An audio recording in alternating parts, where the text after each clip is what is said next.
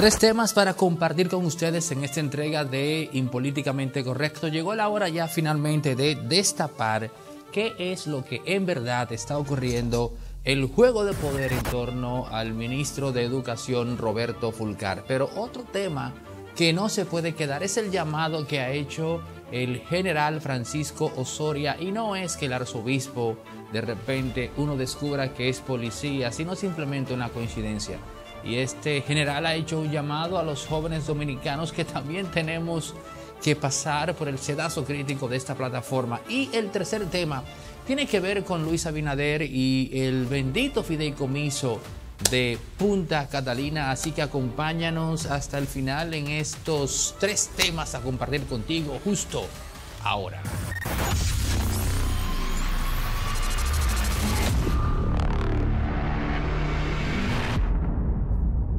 Vamos rumbo a los 200 mil suscriptores y quiero que nos acompañes en esta meta, que seas parte de ella si aún eres habitual y no te has suscrito, pero también siempre que gustes y lo creas pertinente puedes compartir nuestros contenidos en tu WhatsApp, en tus redes sociales. De esa manera ayudas a propagar una forma de hacer comunicación divergente en República Dominicana. Así que caramba, de antemano, gracias por el apoyo. Me voy con el tema central de inicio porque en verdad que mi naturaleza impaciente me impone a mí mismo estallar y no esperar más. En un corte anterior hablábamos de, digamos, cuál es el aspecto económico en torno al drama Roberto Fulcar. Pero ahora tenemos que hablar del aspecto estrictamente político. Y es que no es casual, damas y caballeros, que este avispero se haya suscitado en momentos que está reinando la incertidumbre en torno a un relato, que tiene como protagonista al presidente mismo y es su reelección. Y ya él, en el momento que dice que si lo ayudaron a llegar, lo van a ayudar a continuar, pues ya es evidente que el presidente está diciendo de manera explícita que él va, que cuenten con él para la reelección. Y no teníamos que ser un oráculo de Delfos, no teníamos que ser eh, cual, eh, digamos, adivino dotado para llegar a ese punto. Todo el que está en el poder quiere continuar en él y más aún cuando tiene una constitución que no se lo impide. Simple. Entonces, ¿qué conexión tiene Roberto Fulcar con la reelección que hace que de inmediato se convierta en blanco de ataque? Señores, ¿qué era Roberto Fulcar en la pasada campaña? El director de la misma. Ocupaba el cargo político más importante, más preponderante, de más interés, porque en una campaña, y lo he dicho siempre, se manejan muchos millones de pesos. Es el negocio antes de llegar al poder, al menos para el sector empresarial, no tanto por el dinero, sino porque es en ese proceso donde se articula, donde se configura el tren de gobierno. Porque el director de campaña tiene que despachar con todos los elementos responsables a nivel de recurso y de ejecución de la logística de la misma. Y eso lo convierte entonces en la persona más determinante de cara a un proyecto presidencialista. No se quiere que Roberto Fulcar repita como director de campaña de Luis Abinader. Y por eso se ha emprendido una cruzada mediática para comprometer su imagen de cara a la pretensión del presidente y llevar a Luis Abinader a hacer la siguiente ecuación política. Bueno, tengo que barajar momentáneamente el tema del fideicomiso, tengo que buscarle la vuelta porque ahora entiendo por qué razón Danilo Medina no le quería vender esta planta a los Vicini antes de las elecciones. Es verdad que nos puede pasar factura. Ese es un ejercicio. Pero en esa misma línea, otro ejercicio es, yo no puedo poner a Roberto Fulcar como mi director de campaña, porque él está caliente ahora. Eso me restaría. Ese es el escenario que se está creando, señores. Lo que se está buscando es descalificar a este ministro para que entonces no repita como director de campaña y quitarle, arrebatarle el poder que le da esa posición. ¿Ustedes creen que es casual, reitero, y ahora cobra más importancia que el reportaje aquel haya salido en CDN, el canal de Manuel Estrella, el más poderoso empresario dominicano ahora mismo? Yo dije, hablando de otro por ahí, dije el más peligroso. Aquel que cité aquella vez, con el cual me encontré hace un mes, y que yo diría que hasta me amenazó, pero amén, ese es otro. Ese es el más peligroso. Pero Manuel Estrella es actualmente el empresario dominicano como tal más poderoso. ¿Ustedes creen que ese señor quiere que Roberto Fulcar repita como director de campaña de Luis Abinader? No. La respuesta es un no rotundo. Señores, esa es la jugada con el tema Roberto Fulcar. Si bien es cierto que están los 100 mil millones de pesos, eso está ahí y eso no cae mal. Pero más determinante que eso es impedir que él vuelva a dirigir la campaña de Luis Abinader. Y esa es la auténtica razón, y me parece que Fulcar no lo sabía, por la cual lo quieren calentar, o lo están calentando más bien, en la opinión pública. El juego de poder se expone ante todos ustedes. Y qué bueno, porque eso es precisamente lo que ustedes buscan cuando sintonizan impolíticamente correcto. Lo de Fulcar va más allá de los 100 mil millones que él maneja anualmente.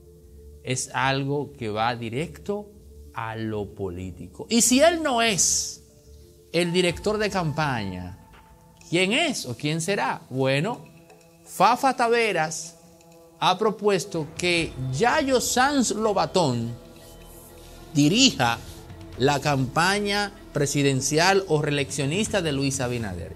¿Ustedes creen que eso es casual? Vamos a quitar a un elemento político y vamos a poner a una figura de un perfil más alineado y empático con lo, empresarial. Bueno, pues ese es Yayo Sanz Lobatón. Lo que me parece curioso y, digamos, eh, e inesperado es que sea Fafa Taveras quien haga semejante propuesta. Pero ya están todas las fichas eh, expuestas ante ustedes. Vamos a ver cómo termina esto.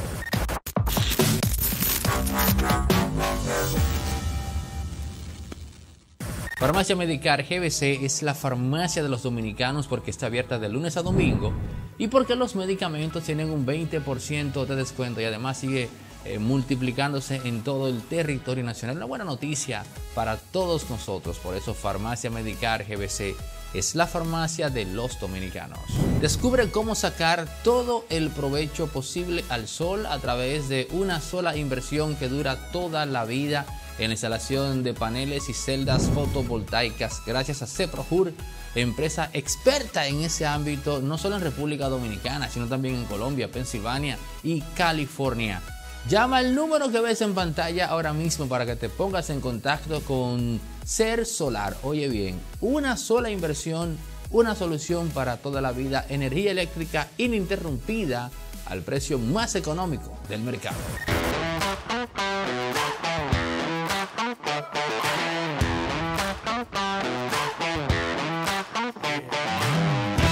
El general Francisco Soria ha hecho un llamado a todos los jóvenes de la República Dominicana, en especial en la región este, la Romana y compañía, que es la región que él preside por parte de la Policía Nacional. Y tiene que ver con la vestimenta. Ha dicho que todo aquel joven que tenga gafas, mascarilla y chaqueta será detenido por eh, tener un perfil sospechoso bajo el alegato de que así es como visten los antisociales, los delincuentes. Cuando digo chaqueta me refiero al, al jurio, ¿cómo se llama esto en inglés? Que lo usan mucho los basquetbolistas, se me escapa el nombre ahora. que son como estos suéteres que tienen su, también tienen su parte en la cual te envuelve la cabeza. Entonces tú te pones una gorra, te pones una gafa, te pones una mascarilla. Entonces ya eso es un perfil sospechoso. Miren, yo no voy a dudar de que el general haya percibido que en efecto los delincuentes se están vistiendo de esta manera. Ahora, decir de manera directa y alegre que todo aquel que tenga esa vestimenta será detenido e investigado porque tiene un perfil sospechoso general, me parece que no es ir más allá en el trabajo. Porque usted tiene que recordar que ese tipo de prácticas fue criticada históricamente en la Policía Nacional y digo de manera franca que no suma a la imagen o al criterio del trabajo eficiente que se supone haga la policía venir con esto ahora, no solo en el siglo XXI, sino de que ya estamos en el año 2022.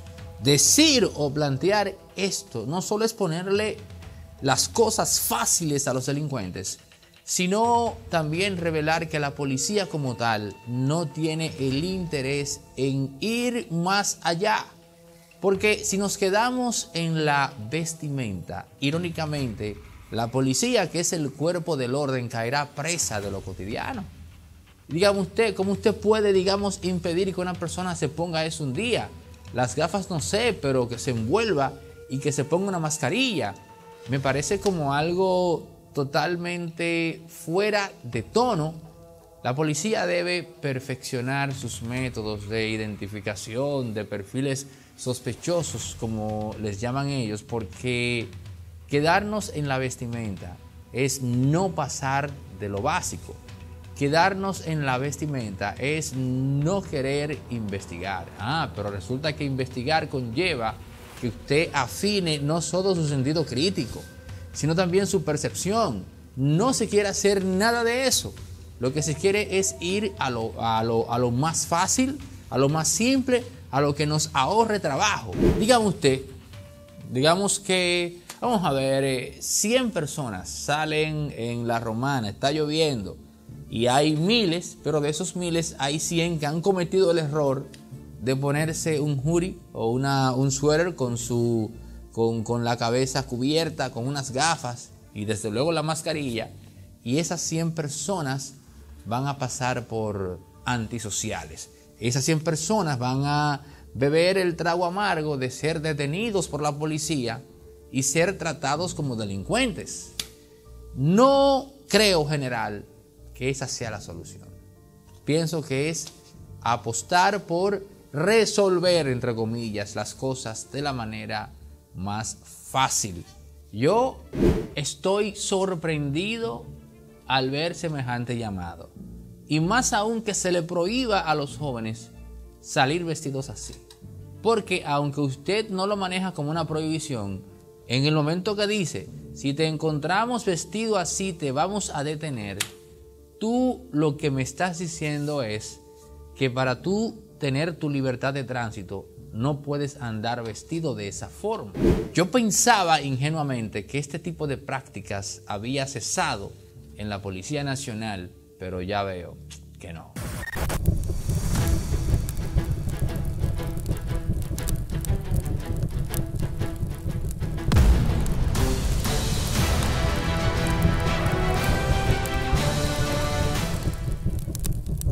Recuerden que en la descripción de este video dejamos nuestro link de acceso de Patreon para que toda aquella persona que quiera aportar para que esto siga adelante lo haga cuando guste y con lo que guste.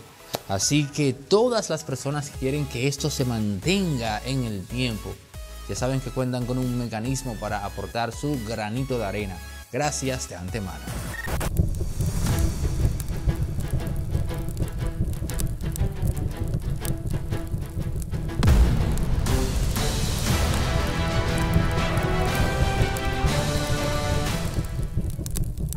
Voy a darle rápido con esto del fideicomiso y el discurso del presidente. Número uno, cuando Luis Abinader habla de que para que todo quede claro va a mandar eso a ser consensuado en el Consejo Económico Social, en el famoso CES, el presidente no está resolviendo nada inherente al malestar social que existe en torno al fideicomiso de Punta Catalina. Lo primero, y esto quedó a la vista de todos, es que el mismo Luis Abinader quiso minimizar este tema, pero luego sus resabios ante varios periodistas delataban que el hombre se estaba sintiendo incómodo con el debate que había suscitado el tema en la opinión pública. Y ahí fue cuando Luis Abinader descubrió por qué a Danilo Medina le era tan difícil desprenderse de Punta Catalina y entregársela, eh, digamos, a los Vicini antes de la campaña. Me refiero al 2020 con Gonzalo Castillo. De todas formas, de todas maneras, perdió. Pero ahora cuando el presidente dice, para que todo quede claro, vamos a enviar eso a ser estudiado nueva vez en el Consejo Económico Social, el presidente no está respondiendo una pregunta que se hace mucha gente en este país. Pero ¿cuál es la necesidad de entregarle Punta Catalina, poner la gerencia de la misma en las manos del sector privado? Cuando usted dice eso, usted lo que está admitiendo es que se tiene una intención primaria de poner a disposición de ese sector privado lo que el pueblo conoce como la, planta energética de Punta Catalina. Porque si se arma un, digamos, un escándalo, si la gente está comentando, lo correcto hubiese sido desbaratarlo todo.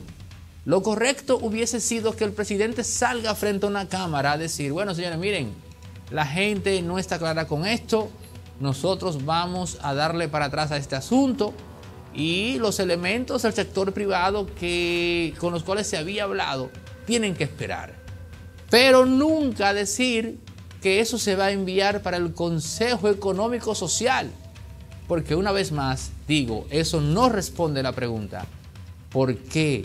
¿Cuál es el imperativo que determina que se le tenga que entregar Punta Catalina al sector empresarial. Y yo no estoy hablando de venta, no estoy planteando que se vaya a vender, no, no, no, no. El fideicomiso, que es el instrumento legal para que el sector privado gerencie Punta Catalina. A eso es que nos estamos refiriendo. Que ya sabemos que el tema aquel de los 30 años no es un asunto inamovible, que no se pueda cambiar, pero hay algo que me preocupa y tiene que ver con el sector bancario o la fiduciaria que va a manejar eso, que es la de Banreservas, pero que ese mismo estatuto o contrato de fideicomiso establece que en cualquier momento, así como el Estado puede cambiar a quienes participen en el sector privado, ellos pueden cambiar la fiduciaria. Eso significa que en cualquier momento, si ellos deciden que no están contentos con la fiduciaria Banreservas, pues entonces se la pueden quitar e introducir una fiduciaria del sector privado. Y con eso hay que tener mucho cuidado. Ojo con eso. Ahora bien, yo dejo la pregunta en el aire. ¿Por qué es que tenemos que poner la gerencia de Punta Catalina en manos del sector privado? Y la pregunta es pertinente porque vemos que todo lo que hace el gobierno en torno a este tema termina siempre en el sector privado involucrado en el mismo. Y de repente no es negativo que el sector privado se involucre con el gobierno. No, ese no es el problema. El gran problema aquí es que dada la insistencia del mismo gobierno en que esa planta recaiga en manos del sector privado, uno tiene que decirse de inmediato, ven acá, pero el interés aquí no es brindarle energía al pueblo dominicano a buen precio. El interés aquí es, por lo visto, cumplirle una promesa de campaña, no sé, pero cumplir al fin al sector privado con el tema de Punta Catalina.